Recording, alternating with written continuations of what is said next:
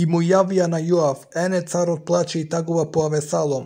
Така победата во оној ден се претвори во жалост за сета војска, зашто војската чува оној ден дека царот тагува за својот син, и во тој ден војската се врати скришно, како што скришно се подкрадува војската што се засрамила бегајки од бој, а царот го покри своето лице и викаше со сиот глас, Сине мој Авесаломе, Авесаломе, сине мој, сине мој, Тогаш Јоав дојде кај царот во куќата и му рече, го срамиш денес лицето на сите своји слуги, кои што денес ти го спасија животот тебе, животот на твоите синови и на твоите керки, животот на твоите жени и на твоите соложници, зашто им искажуваш љубов на оние кои те мразат, а омраза на оние кои те љубат. Денес покажа дека ништо не ти е ни до војводите, ни до војниците, зашто гледам сега дека ќе ти беше сосем право кога Авесалом би бил жив, а ние сите да загиневме денес. Затоа сега стани, излези и проговори им љубезно на своите војници, зашто ти се колна во Господ, ако не излезеш, ни еден човек не ќе остане со тебе нокеска и тоа ќе ти биде поголема несреќа од сите што те нашли од твојата младост па до сега.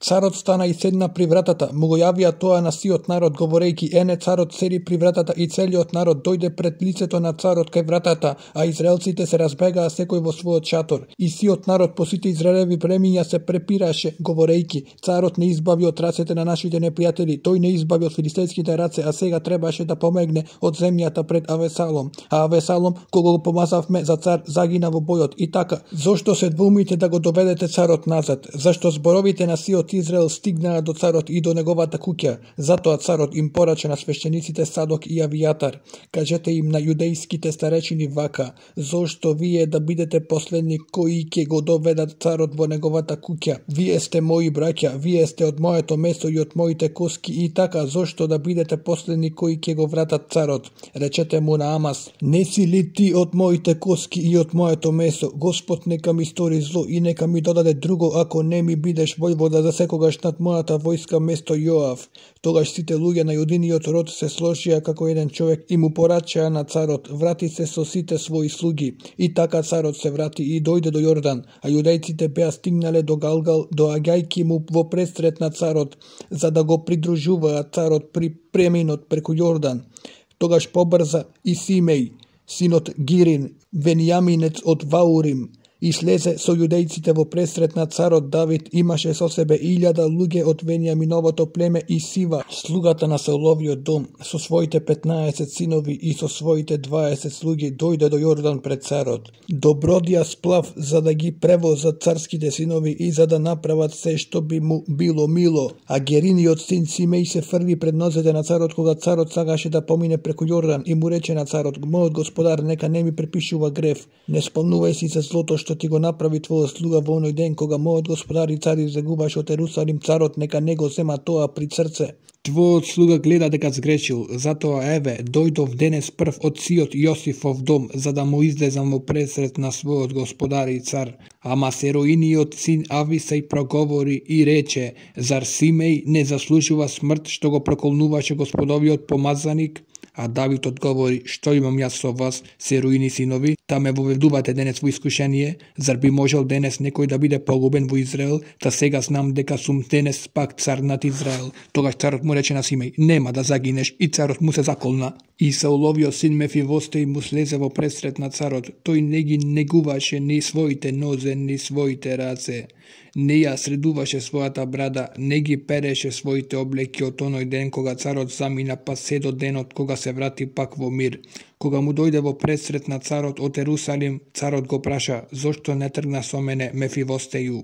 А тој одговори, цару господару, мојот слуга ме измами, твојот слуга му рече, на Самари ми ја ослицата да ја јавнам и да тргнам со царот зашто твојот слуга е хром. Тој го наклевети твојот слуга пред мојот господар и цар, ама мојот господар и цар е како Божји ангел, затоа прави што е добро во твоите очи. Зашто сиот мој татков дом немаше заслужено друго освен смртот мојот господар цар, а ти сепак го прими твој слуга меѓу оние кои јадат на твој стол. Па како уште имам право да се поплачувам пред царот? А царот му одговори, зошто уште да го тегнеш својот говор, одредувам, ти и Сива поделете си ги нивите. Мефивосте и му рече на царот, нека земе и се, кога мојот господар цар се врати срекно во својот дом. И галадецот Варзелај дојде од Рогелем и продолжи со царот за да го испрати преку Јордан. Варзелај беше многу стар, му беа 80 години, го снабдуваше царот со храна додека престојуваше во Маханаим, зашто беше мошне имотен човек, Царот му рече на Варзелај, појди со мене, јас ке те издржавам во твоите стари денови кај себе во Ерусалим. А Варзелај му одговори на царот, а уште колку години ми остануваат за да одам со царот во Ерусалим. Сега ми се 80 години, можам ли уште да разликувам што е добро, а што зло? Може ли уште да му биде пријатно на твојот слуга тоа што јаде и што пие? Можам ли уште да го слушам гласот на пејачот и пејачката? Зошто твојот слуга уште би му дал товар на својот господар цар? Твојот слуга уште само ќе помине преку Јордан со царот, но зошто царот би ми дал таква награда? Дозволи му на својот слуга да се врати за да умрам во својот град кај гробот на својот татко и својата мајка. Но еве го твојот слуга Хамам, нека оди натаму со мојот господар цар. Пастори му нему што е добро во твоите очи. Царот одговори, тогаш Хамам нека иде со мене натаму, а јас ќе му сторам што ти е тебе мило. И што и да ме замолиш, се ќе му сторам заради тебе. Кога сиот народ помина преку Јордан, помина и царот. Го полюби Варзелаја и го благослови. Потоа овој се врати во своето место. Царот го продолжи патот за Галгал, Хамам одеше со него. Царот го следеа сиот јудин народ и половината од Израелевиот народ. Тогаш сите израелци дојдоа пред царот и го прашаа зошто нашите браќа јудејците украдоа и зошто ги преведоа преку Јордан нашиот цар и неговиот дом и сите Давидови луѓе со нив. А Јуда му одговори на Израел: Царот ми е род мене Зошто си се налутил заради тоа? Дали јадев на царева сметка? Или нешто си заграбив? Тогаш Израел му одговори на Јуда. Јас имам 10 делови во царот и спрема тебе јас сум првороденец и така зошто ме презре? Не беше ли мојот збор прв кога требаше да биде доведен назад мојот цар, но јудиниот одговор беше подсврс од Израелевиот говор.